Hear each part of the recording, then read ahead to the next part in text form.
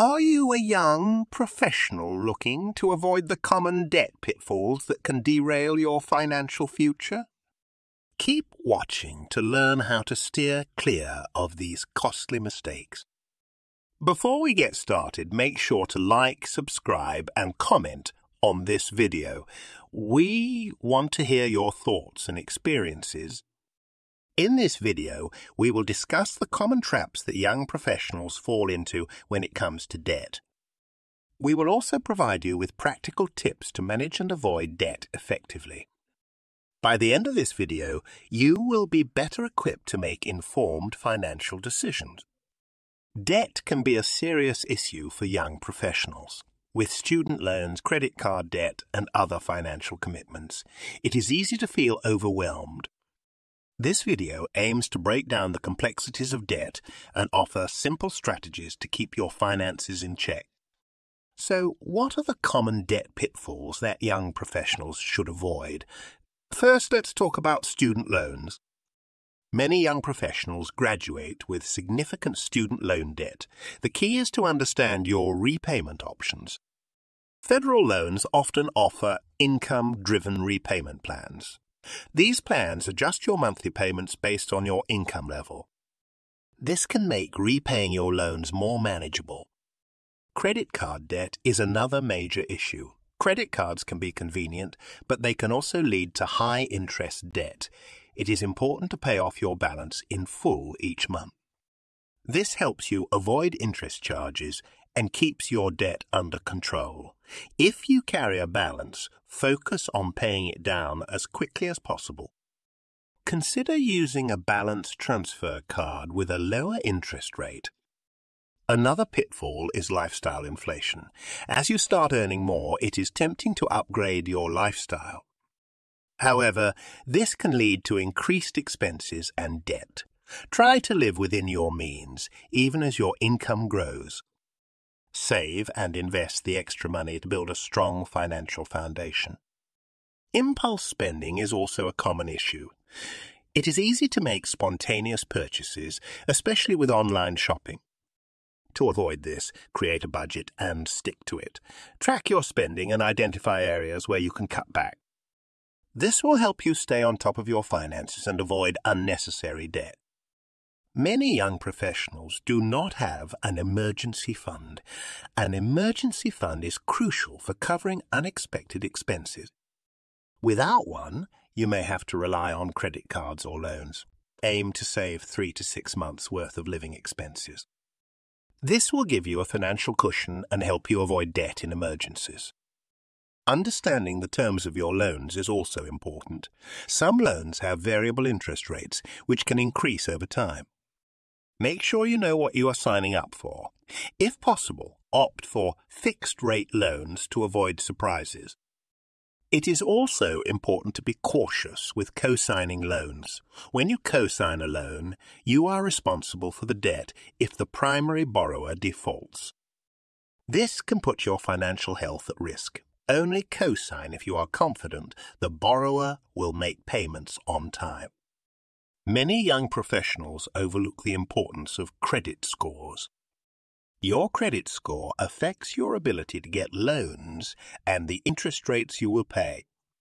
Make sure to pay your bills on time and keep your credit card balances low. Regularly check your credit report for errors and dispute any inaccuracies. Another issue is not seeking professional advice. Financial advisors can provide valuable guidance on managing debt. They can help you create a plan to pay off your debt and achieve your financial goals. Do not hesitate to seek professional help if you need it. Lastly, be aware of debt consolidation options. Debt consolidation can simplify your payments and reduce your interest rates. However, it is important to research and understand the terms. Make sure it is the right choice for your financial situation. By being aware of these common pitfalls and taking proactive steps, you can avoid debt and build a strong financial future. Stay disciplined, make informed decisions, and seek help when needed. Your financial health is in your hands. Now let's talk about the steps you can take to avoid debt pitfalls as a young professional. First, create a budget. A budget helps you track your income and expenses. It shows you where your money is going and helps you identify areas where you can cut back. Second, build an emergency fund. Aim to save three to six months' worth of living expenses.